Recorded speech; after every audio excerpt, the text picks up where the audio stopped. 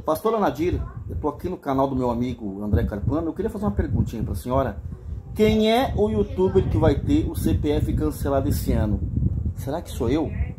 Porque se for eu, eu preciso me preparar, comprar o caixão, preparar os serviços fúnebres, que eu quero um negócio de pompa.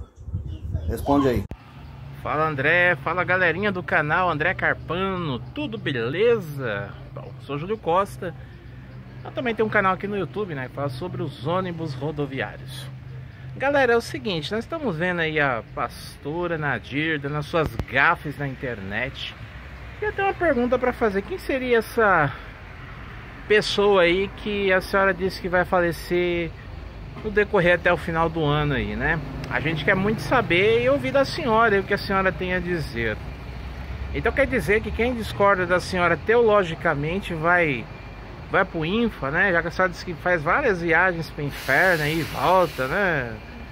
Rapaz, você tá mais viajando do que eu, hein, dona, dona Nadir, né? Ironizando aí. Então é o seguinte. É, então me coloque no desafio também, né? Eu quero ver se, se, se, o Deus da senhora é tão poderoso. Aliás, a senhora fez uma salada esses tempos falando que os, alguns criadores de conteúdo iam morrer, né? E tal, e não aconteceu. A Bíblia diz, Deuteronômio, se, se aparecer entre vós um profeta dizendo, assim diz o Senhor, não acontecer, este profeta não foi enviado por Deus. Então, quem está errado, a senhora ou a Bíblia? Hum? Deixa aí para a senhora esclarecer essa questão aí.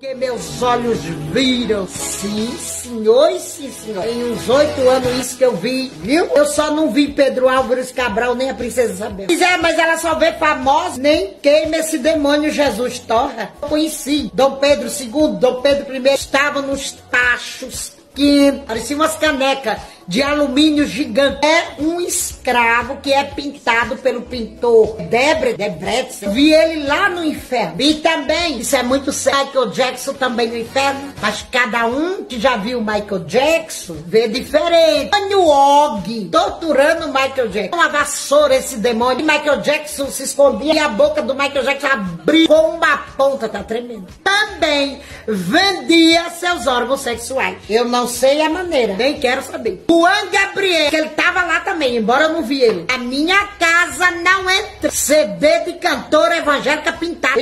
Até o próximo vídeo.